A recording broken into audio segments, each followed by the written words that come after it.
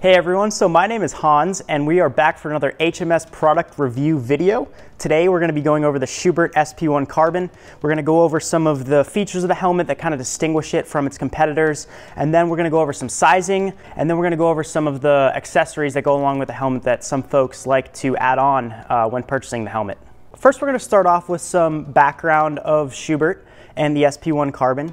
Schuberth started off making F1 helmets in Italy and they've made some helmets for some pretty notable F1 drivers. So, you know, drivers along the lines of Michael Schumacher, Kimi Raikkonen, Fernando Alonso, Max Verstappen, and Sergio Perez, and the list does go on from there. The SP1 kind of aims to be the consumer version of their F1 helmets, taking the best qualities of that and putting it into a helmet for the consumer. The SP1 starts at 1949. It comes in sizes from extra small, size 54, all the way to double XL 63. And it is an SA 2020 helmet, and it has an FIA 8859 2015 rating. The first feature of this helmet that I want to talk about is the visor. And the visor is a really important piece of the helmet because it's what the driver looks through to see what's going on around them. The visor is 3D injection molded and it's three millimeters thick and it's one solid piece, which is you know, really important because a lot of other Helmet manufacturers use Lexan, which is layered, and that can cause distortion in your periphery, whereas this visor does not cause any of those distortions. The next really cool thing about this helmet is that it has Pinlock, and what that is, is it's essentially mechanical anti-fog. Now, the next really cool thing about this helmet is that it has a dual stage locking clip on the front, and what that allows you to do is, you know, on the first stage, it allows a little bit of an air gap for some, some airflow and ventilation. And then when it goes fully down, it's fully closed and locked and no air can get in, in you know, more of an open wheel kind of setting. The last amazing thing about this visor is that you don't have to use any chemicals to wash it or anything like that. I know, you know, some other manufacturers, you have to use very specific chemicals, whereas with the Schuberth, it's really just warm soap and water, which makes cleaning it a whole lot easier. So the last thing about the visors that I wanted to touch on was that the Schuberth actually comes with a, a, slightly tinted visor known as the clear red visor, as you can see on these two helmets right here. Uh, you know, which is really cool because a lot of companies don't actually provide the customer with a colored or tinted visor as standard. So the shell of the Schuberth SP1 Carbon is what I want to touch on next. It is fully carbon and not some sort of carbon laminate over a composite shell, which means not only is it beautiful to look at, it's also fully functional as well. So it's autoclave cured, which adds to the structural rigidity of the shell, but also takes away from the weight. It comes off the same production line as the 8860 ABP helmets you see Max Verstappen, Sergio Perez, and Mick Schumacher wearing, and weighs just over three pounds. And what drivers have noticed is that their neck and back muscles feel much less stressed after a stint due to the weight of the helmet. The next thing I want to talk about that kind of goes along with the aerodynamics are the 12 channels for ventilation in this helmet. And those 12 channels are built into the EPS foam, which is the foam that actually keeps your head safe. So the, these channels are built into that. And there's six up front that kind of take in the air. And then those channels lead to six more in the back of the helmet that let out the hot exhaust gases from your head, if you will.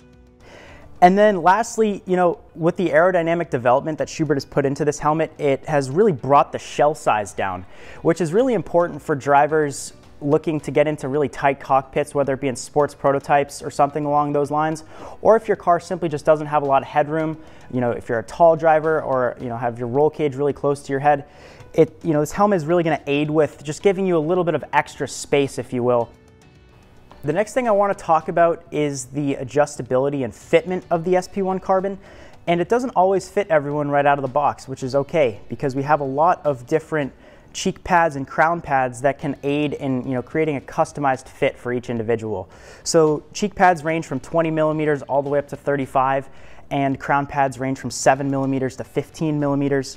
And that can really just help the helmet you know, raise up and down on your head and then give a, a bit more pressure on your cheeks need be. Next, I'm going to talk about some fitment advice for the SP1 Carbon. You're going to want to start off taking a head measurement about one finger width above the eyebrow using a soft tape measure. Then you're going to want to refer to the size chart on our website.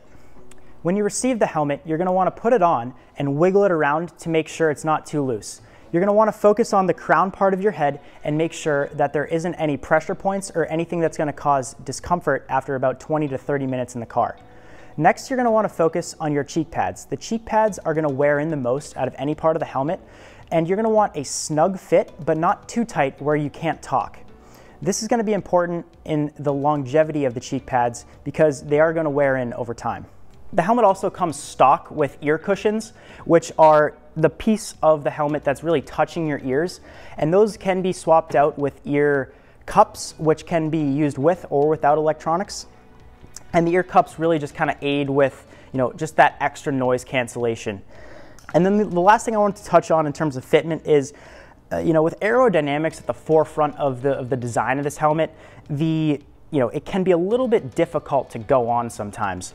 So, you know, sometimes people kind of put the helmet on and they just think absolutely not there's no way this is going to fit but in reality oftentimes they just need to push a little bit harder and once it gets on their head it opens up and fits most of the time quite perfectly the next thing I want to talk about regarding the Schuberth SP1 Carbon are the electronics that can go along with the helmet. Now, the Schuberth SP1 really is kind of just begging for electronics to be added to the helmet. All of our electronics are made in-house in North Carolina and are backed by our two-year warranty. And we have quite a few options depending on the driver's needs. So we can go from anywhere from an ear cup to an earbud connection, um, a boom microphone on either side, and that would relate to a IMSA connection coming out on either side of the helmet. You know, again, depending on the driver's needs. We have found that customers really do like the ear cups with boom microphone, and we found that because the ear cups are really great for noise cancellation, and it also makes it so you don't have to put earbuds in or, and connect them each time you put the helmet on. Also, the boom is quite integrated into the helmet, and it's quite low profile, so it doesn't really get in the way of your mouth, and it's also really easily positionable. All Schuberth electronics kits come with an IMSA cable, which is coiled. This cable can again be positioned on the left or right side and can be stuck onto the helmet using Velcro, so it doesn't get in your way. So next I want to talk about some popular helmet accessories for the SP1 Carbon. Um, first we're going to start talking about the 12 tint and color options for the visors. A lot of folks do like to option in another visor or two to help them cope with the various weather conditions they might see over the course of a race weekend. And if it's going to be really sunny, the dark smoke or a, a more tinted visor is going to be a good option. And if it's going to be cloudier or rainier, the clear red stock visor or a clear visor might be the better option for them.